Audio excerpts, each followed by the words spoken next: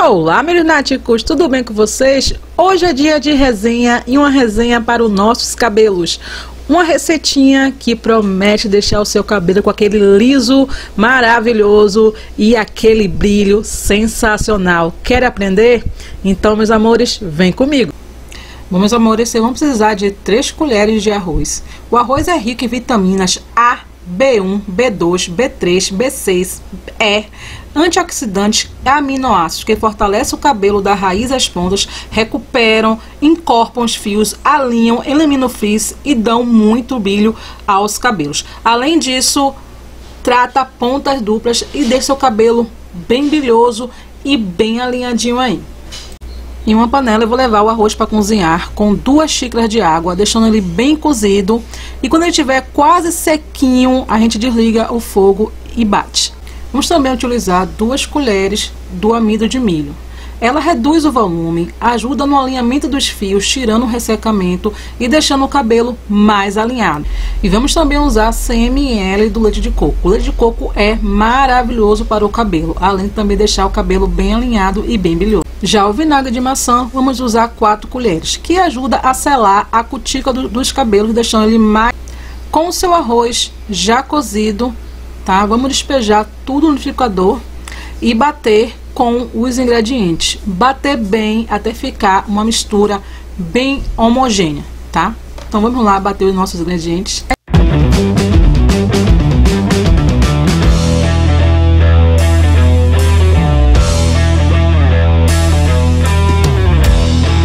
Bom, meninas, eu tô mostrando como é que tá o meu cabelo. Tinha mais ou menos uns 15 dias que eu fiz um botox.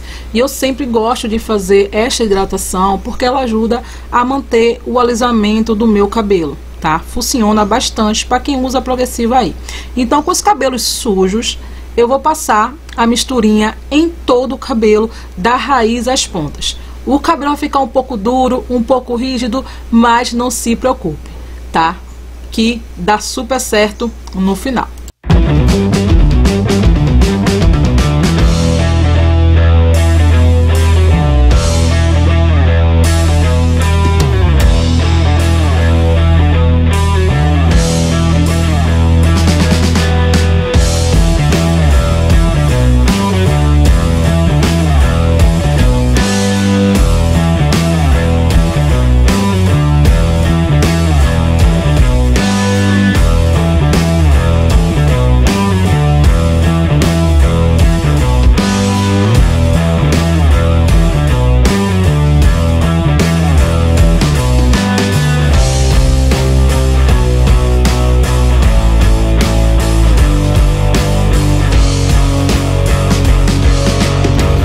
Bom, meninas, eu coloquei um saco e uma touca de isopor, tá? E vou deixar agir por duas horas. Você pode deixar por uma ou por duas até quatro horas, tá? Vou lavar, condicionar e finalizar. Seis horas e meia depois.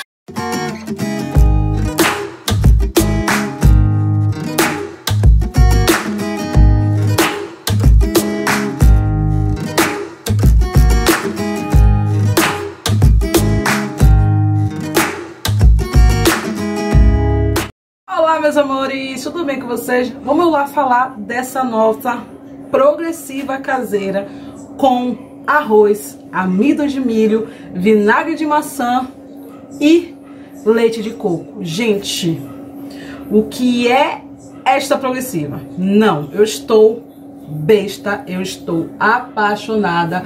Olha o cabelo como tá. Vocês viram aí? Eu tirando o cabelo da touca pra vocês. Olha esse cabelo. Gente, amei. Principalmente o brilho, a leveza que deu nos fios, tá? Vamos lá conversar um pouquinho sobre essa misturinha que eu fiz no cabelo e que tá me ajudando aí a deixar o cabelo mais alinhado, mais alisado. Assim eu não fico preocupada de que minha raiz está alta, de que eu preciso da progressiva no cabelo, sabe? E a gente evita também tá tascando muita química depois que a gente recupera os fios. E como evitamos, tá bom? Gente, vocês viram no começo aí que eu coloquei o arroz para cozinhar. né? Deixei um pouquinho de água e bati no, no liquidificador. Esses pedacinhos que fica no cabelo, que é horrível na hora que você tá passando, e ainda com a participação de flock, porque flock é gaiata, é, sai no banho, tá? Tranquilamente. Então eu passei no meu cabelo, eu deixei essa misturinha no meu cabelo por duas horas. Sim, deixei por duas horas, mas você pode deixar por uma hora ou deixar até quatro horas de relógio. Se você tiver com, com muita pressa, deixa uns 40 minutos, certo? Mas se você puder fazer com calma e deixar no cabelo por mais tempo, o resultado é melhor ainda, tá? Vai por mim. Eu fiz ela com eu fiz umas quatro vezes para testar realmente o resultado. E o melhor resultado que eu achei foi deixando no cabelo por duas horas, certo? Eu fiz com 40 minutos, não tive tanto resultado assim. Eu fiz com uma hora, mas a com duas horas foi a que eu tive mais resultado. É difícil de tirar essa mistura do, do cabelo? Sim. É um pouco difícil de tirar sim do cabelo, tá? É, você passa com o cabelo sujo, foi o que eu fiz. E na hora de retirar, eu peguei um shampoo bem cremoso para não, é porque eu fiquei com medo mesmo de tirar o efeito que ela deixou no cabelo. O cabelo fica super pesado e duro, claro, né? Junta a goma do arroz, mas a, o, o amido de milho tende que realmente o cabelo endurecer, ficou realmente pesado.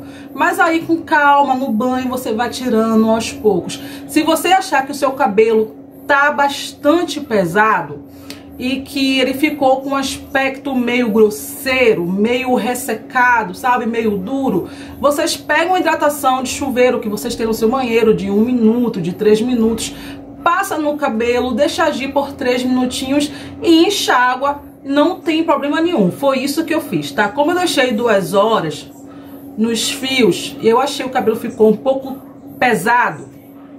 Eu peguei a hidratação que eu tenho aqui de 3 minutos, que eu deixo ela já no banho, tá? Quando eu quero fazer hidratação rápida, passei no cabelo, em todo o cabelo, deixei agir por um minutinho e enxaguei em seguida e condicionei.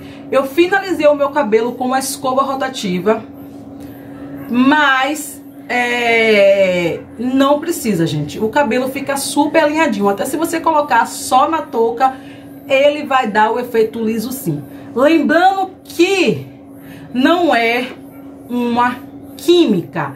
É uma progressiva caseira que quanto mais você fizer, ela vai deixando seu cabelo mais alinhado, dando um efeito liso, tá? Não é uma coisa que você vai passar no cabelo hoje e alisar hoje. Não é assim que funciona. Como o meu cabelo ele é quimicamente tratado, eu dou progressivo, eu dou botox, ele já vem já sendo alisado, então o resultado que eu tenho é de imediato. Ela vai ajudar a alisar os meus fios, vai dar aquele efeito liso. Mas um cabelo cacheado, essa hidratação vai fazer o quê? Soltar mais os cachos. O, mais os cachos. Eita! Um cabelo mais crespo, mais resistente, possa não ser que dê um efeito que você espera, um efeito liso, pode tá, dar outro efeito. Então não crie muita expectativa, ah, alisou o cabelo dela, vai alisar o meu. Não é bem assim, tá? Cada cabelo é cada cabelo. Cabelos quimicamente tratados e alisados é mais fácil, sim, de você obter aí o alisamento tá bom? Mas essa dica é maravilhosa. O resultado que vocês têm nos fios, além da hidratação que dá no cabelo, é simplesmente sensacional. Essa quantidade que eu fiz deu pro meu cabelo todo, mas se seu cabelo for curto e não for assim tão cheio como o meu, se seu cabelo for comprido e não for tão cheio, é só você diminuir a quantidade dos ingredientes que não tem erro. Não guardem sobras, certo? Fez hoje, usou hoje, tá bom? Não guardem sobras. Se vocês quiserem finalizar com escova e chapinha, pode sim e facilita bastante na escovação e na prancha. Como facilita? O cabelo fica bem maleável. Na hora que você vai enxaguar, você toma aquele susto pensando que não vai dar certo, tá? Mas no final tá tudo certo. Tem um cabelo assim, ó. Sedoso, brilhoso, bem sotinho. Quem é que não quer, né? Olha isso. Olha. Eu simplesmente me apaixonei por essa progressiva. Aqui eu sequei com a, a escova rotativa e fiz a touca. E eu tirei a touca para gravar para vocês. E olha. Olha esse brilho. Olha o brilho que essa progressiva deixa no cabelo. Maravilhoso. Isso aqui para você manter o seu alisamento da progressiva, baixar a raiz, diminuir volume. Essa receitinha caseira é a ideal para vocês. Então eu quero saber de vocês aqui nos comentários se você já fez essa misturinha, se você fez, o que você achou e se você for fazer, deixa aqui tá? O seu comentário também, o que você achou. Lembrando que é uma hidratação caseira que promete um alisamento falso, tá? Ele dá aquele efeito liso que, claro, na próxima lavagem vai sair. Mas quanto mais você fizer, mais o cabelo vai ficar mais alinhado e vai fazer o seu alisamento durar mais, tá? Vai ajudar a diminuir bastante o volume, hidratar seus fios e deixar o cabelo lindo e maravilhoso e bem cuidado, tá bom? Pode fazer quem tem cabelo colorido, quem tem cabelo platinado, quem usa Enê, quem usa tio colado, qualquer tipo de química, pode fazer que não tem aí perigo nenhum, tá certo? Mais uma diquinha para vocês, tá?